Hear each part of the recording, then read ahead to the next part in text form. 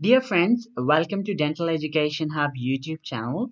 Uh, today we are going to study histology of human oral mucosa. So this is a low magnification image, histological image of the oral mucosa. This part is the epithelium. So this part is the epithelium. This part is the epithelium. So this is the epithelium and this part is the connective tissue part. So the mucosa comprises of two parts, epithelium and the connective tissue. So the epithelium, it basically comprises of various layers of cells and the type of epithelium in the oral cavity is stratified squamous epithelium. This is the connective tissue part and the connective tissue part it comprises of various cells such as fibroblast and that produce collagen fibers.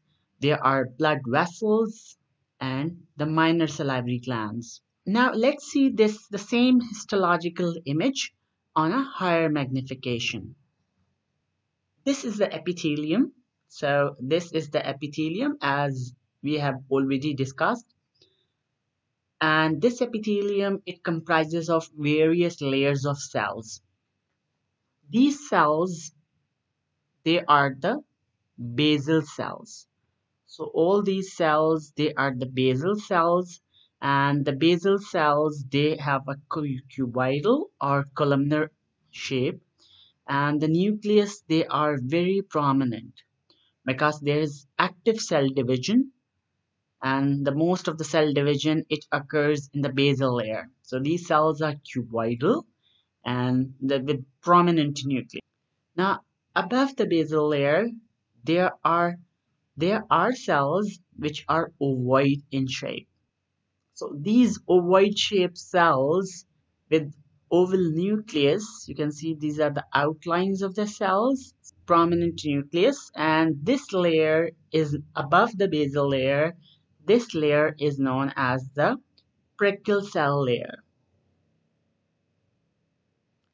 Just above the prickle cell layer, there are slightly flattened cells. So these are the slightly flattened cells. You can see over here, these are the slightly flattened cells and we call these cells, here's another cell, slightly flattened cell and these cells are known as the intermediate cells cell layer.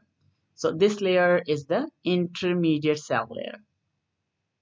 Now this is the topmost layer and we call it as superficial cell layer.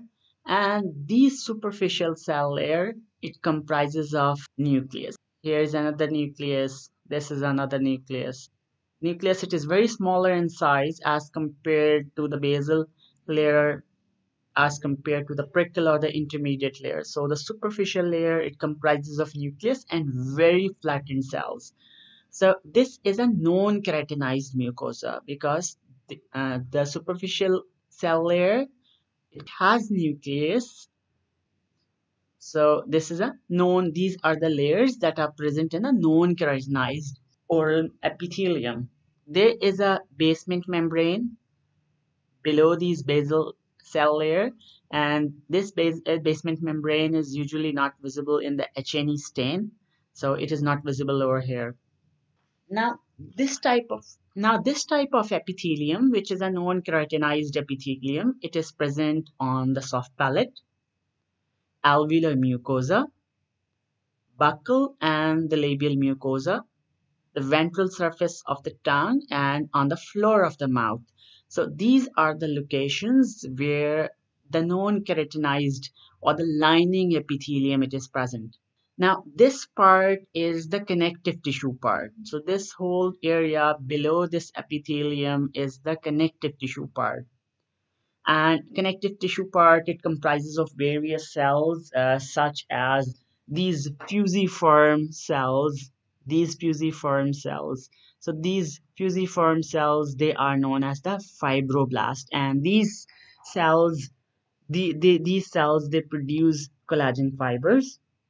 Now, there are, just in the connective tissue, there are minor salivary glands that are present.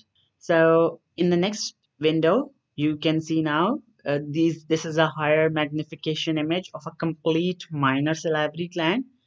These minor salivary glands, they are named according to the location, such as buccal gland, uh, palatal glands, or the labial glands. Now, this is the blood vessel, and it supply nutrients especially to the epithelium because the epithelium it is avascular it do not this epithelium it do not have any blood vessel blood vessels and these blood vessels this supply to the epithelium and also to the adjacent connective tissue.